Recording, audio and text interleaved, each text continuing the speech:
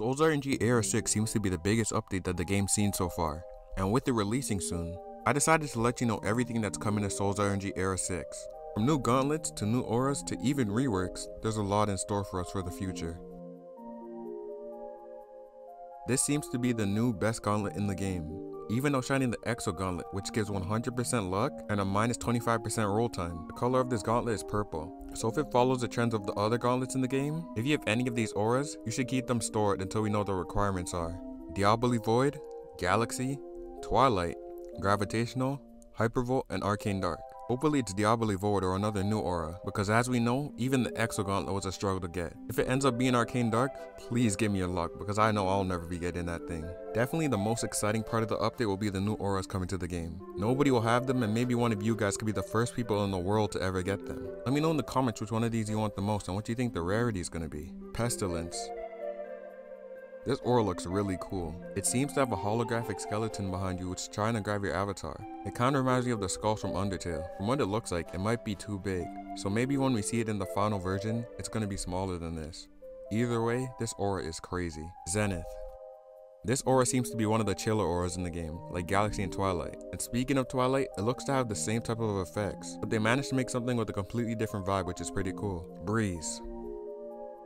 This aura looks like an upgrade to one of the worst auras in the game, Permafrost. With this aura taking the theme of a snowflake with its sharp lines and frost effects, as well as the giant snowflake behind you, you can't deny it looks pretty cool. Fortune. This aura looks crazy and it's based on luck itself, so you already know it's to be rare. With a 1 in 77 million chance, this aura might be the rarest we've seen so far. And I already know the music for this aura is to be insane. It's the first 10 out of 10 rated aura that we've seen so far on this list, and it fits the part. Melody. Creativity is really showing out with these new auras. Your character playing the violin as music notes float around your avatar is just amazing. Along with the amazing music it plays, I can definitely see this being somebody's signature aura. Hellbound. For all the Hades fans, I feel for you, because this aura is everything that Hades should have been, and more. With your character getting chained from hell as it tries to reach the light is such a cool concept, and the aura portrays it perfectly. It's literally if you combine Hades and Bounded and upgraded it times 10. I'm not sure if the odds will stay the same, but if it's 1 in 45 million, it's definitely worth the rarity. Sovereign. Looks like Archangel, Abyssal Hunter, and Peach have a new rival, because Sovereign is looking to place themselves as the king of auras. With your avatar sitting on the throne, with the pose as if you're looking down on everyone, this is just crazy. Along with the supposed odds of it being 1 in 150 million, how many of you guys want this aura? Grim Reaper. Keeping up with the trend of crazy auras, it looks like Era 6 is coming up with a bang because once again, they cooked with this aura. Grim Reaper is definitely going to be one of the most popular auras in the game because just looking at it, it just grabs your attention and holds it. Whoever the first person to get Grim Reaper is, is going to be one popular guy. Reverie. For all the Twilight fans, it looks like Reverie takes everything that's so good about Twilight and enhances it while not being a clone. With the avatar flying on the magic carpet, I literally can't imagine how much more creative these auras can get. Era 6 is cooking, corrupt.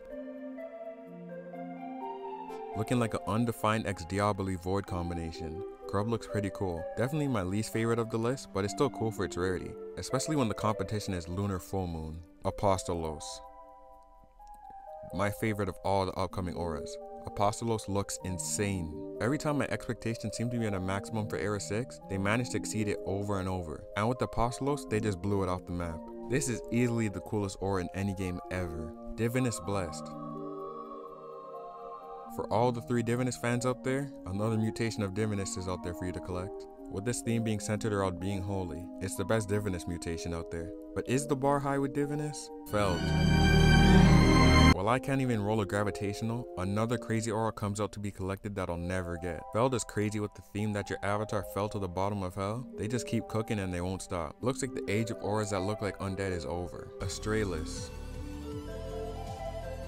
If Twilight and Gravitational had a baby, it would be Astralis. The space theme seems to be one of the best things that Sol's RNG does, because to my knowledge, they've never missed so far when it comes to that. Sirius. This aura is pretty straightforward, but it's still cool to look at. It does exactly what it needs. It kinda gives a look of Goku with God Ki. This aura kinda cooked. Luminosphere. I'm not sure what I think about this aura. There's a lot going on, and I don't know what to focus at. But some of the stuff I look at is pretty cool. What do you guys think? Autumnal. Another chill aura. Autumnal takes the effects of the season and centers itself around it. So far, what do you guys like it more? The crazy auras or the chill auras? Starlight. One of the first accepted auras that we've seen was Starlight. With most of the aura submissions being that tend to be really rare, Starlight takes a low rarity aura and makes it stand out by how cool it looks compared to the others. And I can respect it for that. Resonance. If you liked Melody, you're gonna love Resonance. The new music themed auras are doing really good for their first ever iterations in the game. And hopefully we'll start to see more of them because these auras are really cool. Design. Secret of Lunar. This aura looks pretty cool and it's on the more creative end. With your two robots following you as you hold the hammer, it looks like Poseidon has competition. If I were to bet my money on one of them winning a fight, I definitely got my money on design. It looks like a menace. Hate. The little brother fallen. If you don't have the luck to get fallen, you could have hate, first sight. I wish we could have had this for the Valentine's event, but this aura is still awesome. This easily outshines all the other love themed auras that we've seen so far. So if you like the Valentine's Day auras, you'll love First Sight. Virtual, full control. They took virtual and made it cooler in every way possible. If you have virtual, I feel for you, because the developers just gave up on you and started making way cooler auras. Virtual malware. They gotta be haters of the original Virtual, because they made the original mid, and now all these mutations just look way cooler than it. Precious. They took our least favorite aura and cooked with it. Era 6 looks like it's coming to save all of our sanity. Now let's get to the reworks. Hades. For all the Hades fans that feel like Hades is underwhelming, with this rework, you have nothing to complain about. They took the concept of Hades and maxed it out. Glitch. For being the rarest aura in the game, Glitch was kinda mid. But with this rework, this definitely looks like it's the rarest in the game now. You're probably never gonna see this aura in game in your life, but if you do, it fits the part, because this is absolutely crazy. Rage Heated. I don't even want to talk about this rework, but I have to. They made our least favorite aura a bit less worse, but I still hate Rage Heated. It scarred me one too many times. Matrix. The long awaited Matrix rework. We've waited so long for a Matrix rework that there's two versions of it, but at least it's finally worth its rarity. Let me know which rework you guys like more. Gravitational. To me, I can't see a big difference beside the player leaning back, but let me know if you guys like this rework. I find it kinda mid. Star Scourge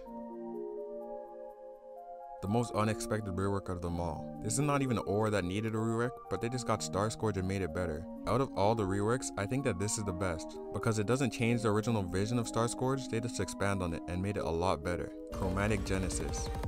The rework of reworks. Probably the most anticipated rework of them all. Chromatic Genesis may just be the best in the group and hold the title of King of Reworks. If you're ready for Era 6, like and subscribe.